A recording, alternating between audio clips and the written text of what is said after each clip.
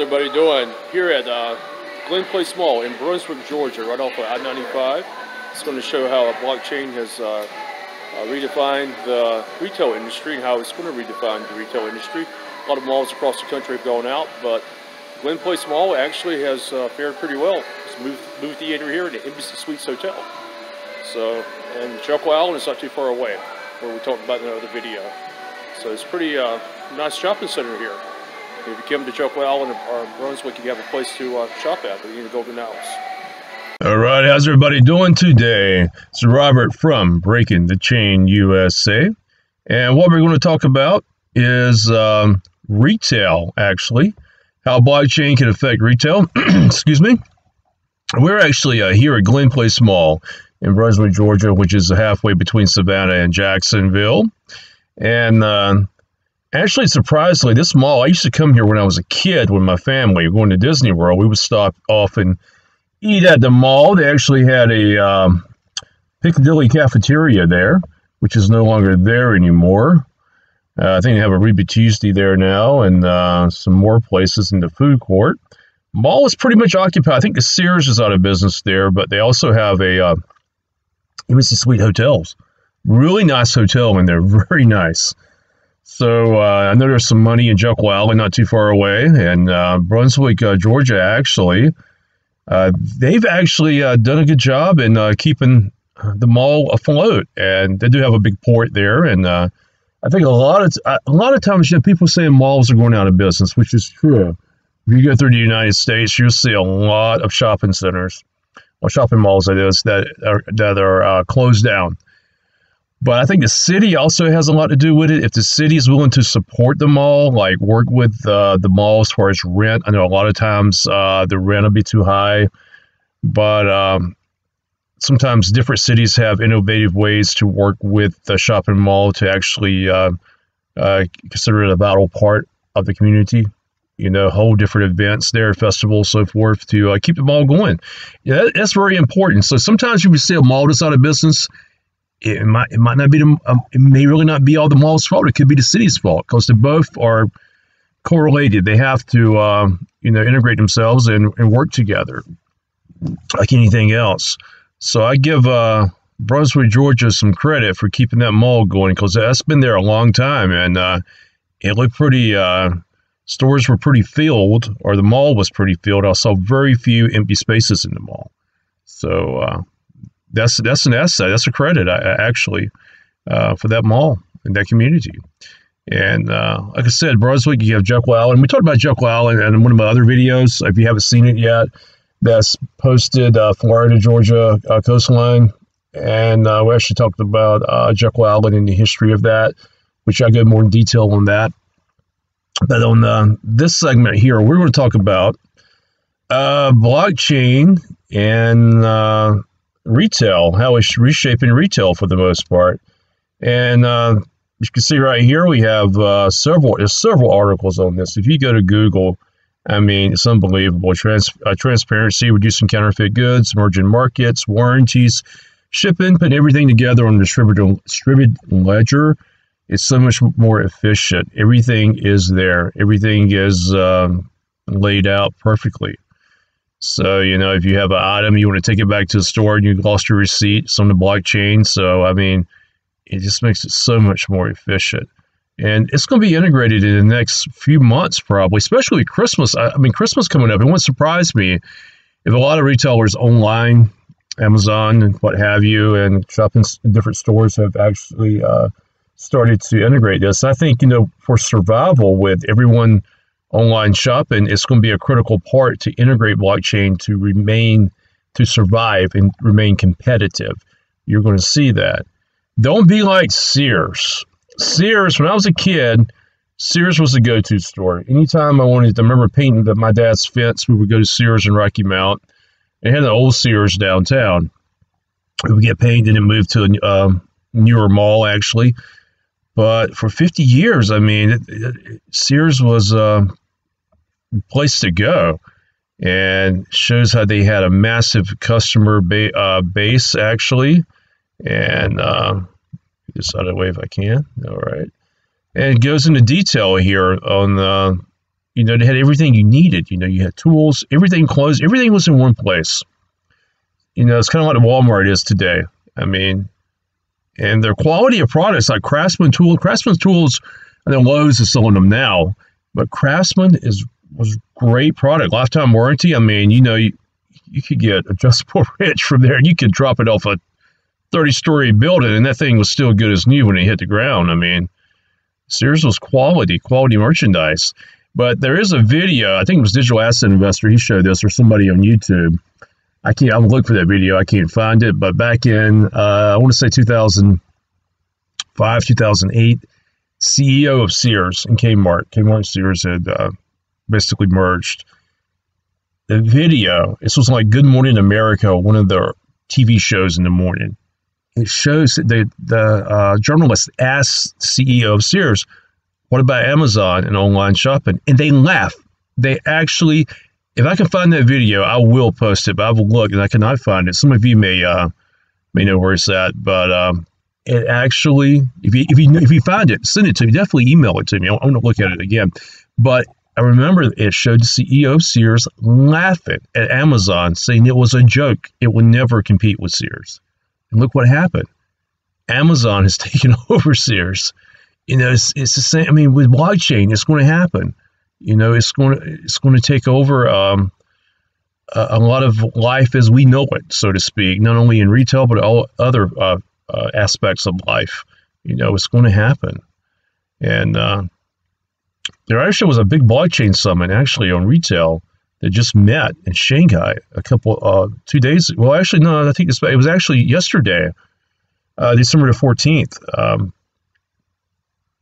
this uh, we're talking about um, in, uh, entertainment and retail and blockchain, how it's focusing, um, play an important role in uh, industrial transformation, streamline process, reduce friction, all the stuff that we talk about on this channel. So, um, you know, it's it's moving that way. It is definitely moving that way and IBM. Hey, IBM's leading the way again. IBM is doing a lot of stuff. I remember IBM used to be. A, I have an old. I have an old IBM computer from 1998 or something like that. Because back in the day, IBM was the computer to get. It was IBM or Hewlett Packard, and that was basically it. I mean, IBM and then Lenovo makes their um, laptops now, which is a, a great product. Actually, actually, I had one and I took it back to the HP I got because I didn't have enough memory to do a lot of my blockchain projects I was working on for school.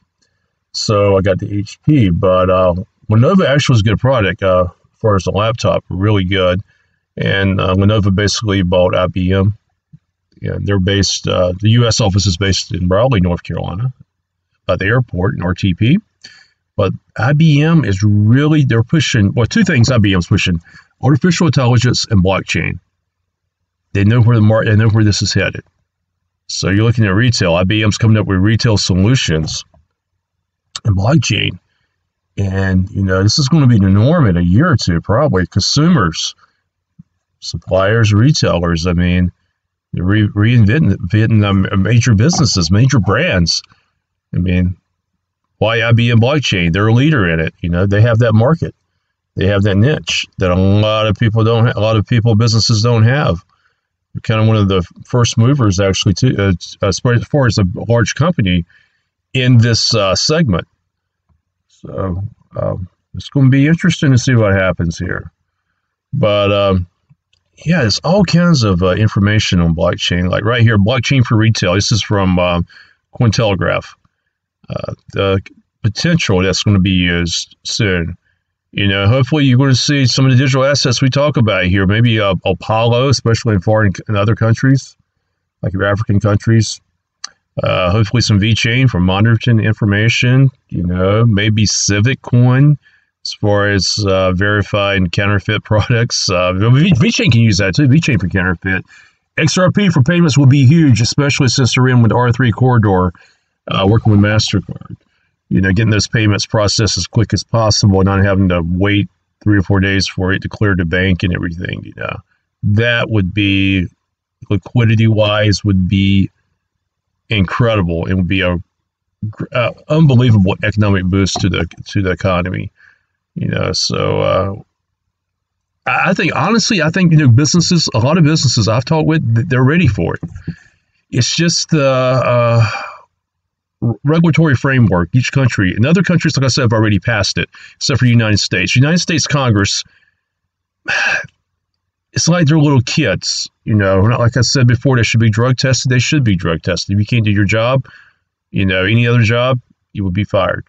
So. Uh, Congress has some issues, a lot of issues. I always made a statement, statement if they didn't close down a lot of the mental hospitals, a lot of people you see out there now, even politicians, would be in those mental hospitals right now.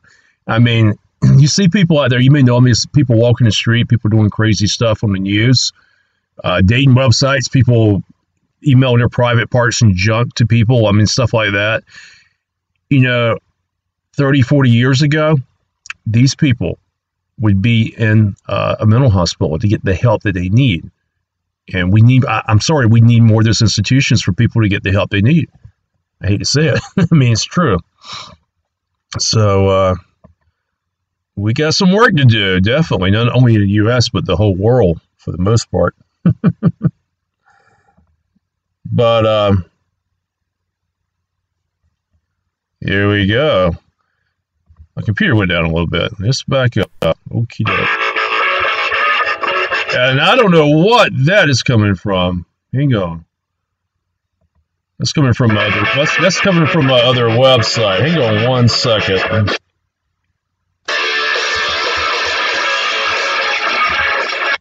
Sorry about that. That, that was actually coming uh, from another page, actually.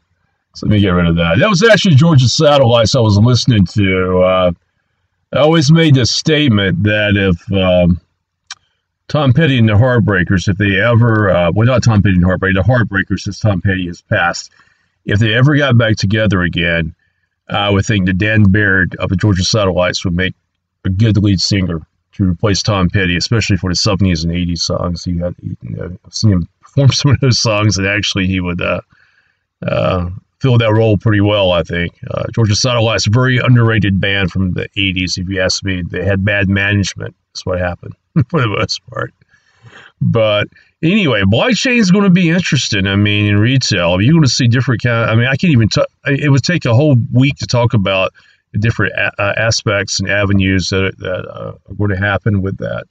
You know, we can only imagine. I mean, it's going to make things so much more uh, efficient and better for the most part. I think. But uh, let's go to this Forbes article right here I found too. Sears. All right. And what we're going to talk about right now, right quick before I end this video, we're actually let's look at some um, hot home markets in southeastern Georgia. And we'll take this down to my uh, South Georgia area right here. And we'll go into Savannah. The other video, the Florida Georgia Coast video I did regarding uh, Jekyll Island actually talked about Brunswick real estate. So we're going to talk about Savannah, and some of the other areas. If you've never been to Savannah, Savannah's a great town, a historic town, similar to Charleston. Kind of feels more like New Orleans, if you ask me, uh, but a lot cleaner. No offense, New Orleans, but it, it is fun town. Uh, River Street's awesome place. Tybee Island is the beach. Uh, Savannah's beach about, t- about 12 minutes, 12, 15 minutes away. You get through Wilmington Island, you're in Tybee Island. Um, St. Simons Island, that's close to Jekyll Island. St. Mary's, you're down on the Florida Georgia line down there. And Brunswick's right here. And Valdosta, Valdosta's a little inland. Uh, State University, uh, past uh, Okefenokee Swamp. And Thomasville's close to Tallahassee, actually, right on the line there. But uh, show you a map of what we have right here. Yeah, South, South Georgia, if you go come from South Carolina to Florida, Georgia's only like 112 miles. I mean, you're you're through Georgia in like less than an hour and a half. Less than an hour and a half from South Carolina, you're in Florida. Uh, you actually pick up the Jacksonville radio stations as soon as you pass Savannah, actually. And um,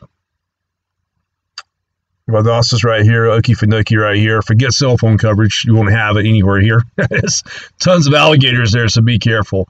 And Brunswick, Jekyll Island's right here between Savannah and Jacksonville. And uh, I have people ask about that. I always said coastal Georgia is one of the most underrated places in the United States. Uh, I think it gets overshadowed by Charleston and uh, the Florida coast, if you ask me. But you know, St. Simons Island is a great beach. Jekyll Island, there are great beaches. Georgia doesn't have that many beaches, only a few, about three beaches. But the beaches they have are really peaceful and tranquil, and it's um, affordable to live there. And the weather, you know, I mean, January you're going to have 70, 70, 75 degree days a lot of time. Never really snows or anything, or gets that cold there. But uh, let's go down to Savannah right here. And here we go again with my CAPTCHA. It loves to do some CAPTCHA. No matter where I go. It's the craziest stuff right here. Crosswalk, crosswalk, crosswalk. and this should take us there. Here we go. Yeah. Savannah's not bad. I mean, check this out, guys. Check it out. None of the condition of this house right here. $90,000 for this house in coastal Georgia. Not bad. Like I tell people, especially if you're up north, freezing your butt off right now, getting a six, seven hundred dollar electric bill, and property taxes are out the yin yang up there. You know, these houses are not bad. 125 grand in new home for 189,000 in Savannah. Uh, 122,000. These houses are good. I mean, you got some upper houses too. If you get like on the beach and so forth. Like I said before, coastal Georgia now is curved in, so it really doesn't get the force of hurricanes unless they do a due west. You know, but you got some expensive. When you, want a Georgia mansion, 1.8 million. You got some expensive houses too.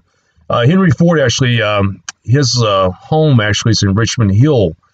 Uh, Henry Ford's passed away, but his uh, winter home was actually Richmond Hill, Georgia beautiful place if you get a chance to go by there. He did a lot for the community when he uh, lived there in the wintertime with schools and everything, donating money. Henry Ford was a great guy. They have a little museum there now. You can actually see his uh, see his uh, uh home place and what he did there.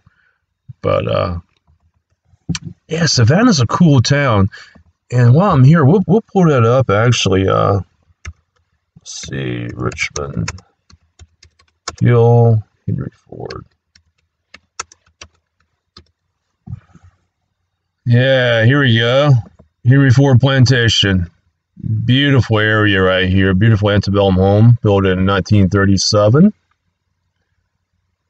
A lot of big oak trees there. It used to be another, it used to be called Rich, uh, I think Richmond Hill Plantation. This was actually burned by General Sherman in the Civil War, or as we call it, War Between the States down here and uh, he built it back, built on the property actually, and they wanted to rename the community uh, uh, Ford Plantation, but he insisted they name it Richmond Hill, and uh, beautiful area.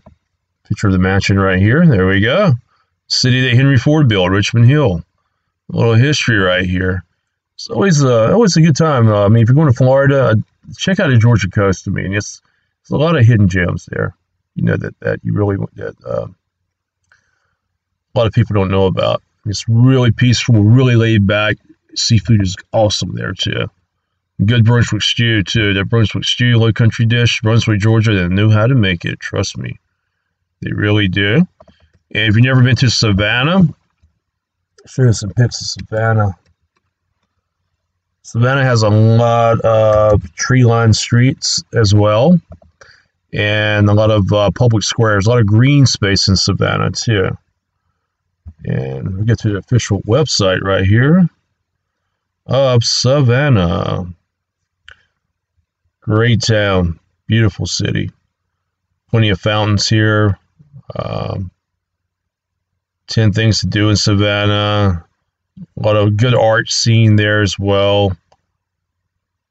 Uh, incredible town, a lot of history. River Street downtown, um, right along the river, a lot of places to go, taverns. I think you can drink in the street on New Orleans too.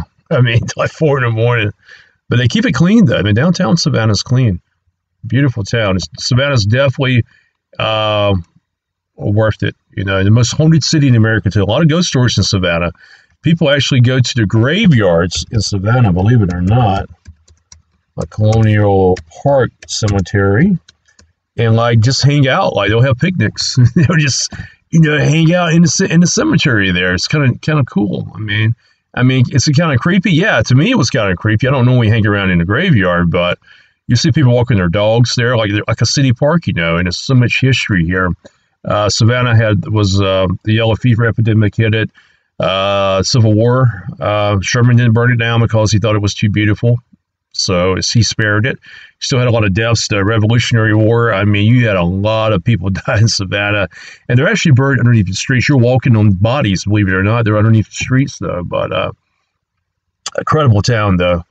Uh, really good town to go to and hang out. They have a place called the Pirates House there, where uh, Blackbeard uh, used to frequent, and Cap- the Captain Flint from Treasure Island uh, supposedly died there. And uh, you read the Treasure Island uh, book, but Pirates House actually has Southern cuisine there, great atmosphere, and it's the oldest building in Georgia actually. Here are some pictures of it, and they have a little cellar. It used to have an underground tunnel.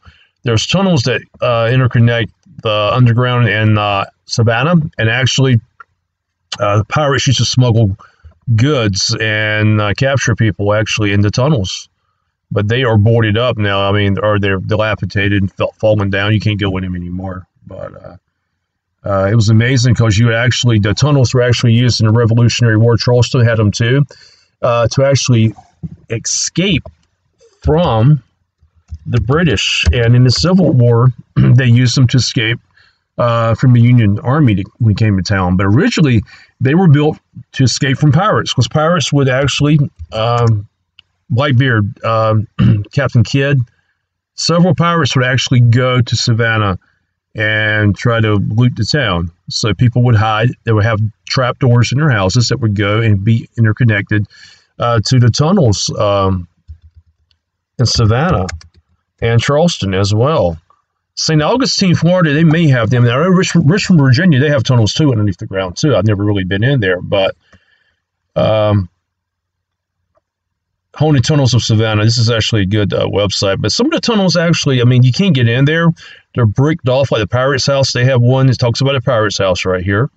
This is the Pirate's House, and theirs is actually boarded up where you can't get in there. And this goes into the history of the ghost and all that good stuff. Great town, Savannah is. Great town. But anyhow, all right, folks, this is all we have right here. Like, if you have any questions on real estate along the South Georgia area, please uh, email me at American Real Estate. Some more tunnels right here. Wow, they're creepy. American Real Estate, REF at gmail.com. Anything on blockchain, breaking the chain USA at gmail.com. And be sure to uh, get a Ledger Nano S, as in my description in the video below, and also Coinbase account. And look at these tunnels; it's pretty amazing. I mean, I wish you could still, I wish you could still go in there. I mean, some of these places, but uh, eh, it would be too dangerous though. But if, if there's a ghost, this is where they're at. But I've never I've never seen a ghost. But uh, huh, interesting. All right, that's all we have right now for this video, and I will talk with you later. Thank you so much for watching.